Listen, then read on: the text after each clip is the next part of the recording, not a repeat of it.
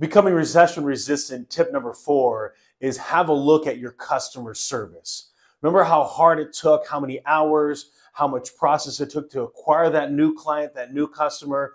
Then make sure that you're evaluating your white glove service to those specific clients, those specific customers that you have, whatever you decide to call them, um, and make sure that how you're engaging with them is exactly the way that you want them to be engaged with. So, for example, it's really uh, valuable to be able to just do that internal audit and have one of yourselves call in and see what is your experience like as a client of your organization. Are there certain things that you can be putting into place in order to make sure that people are getting exactly the level of service that you want them to?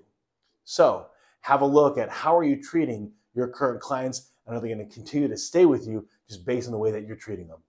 Sherman out.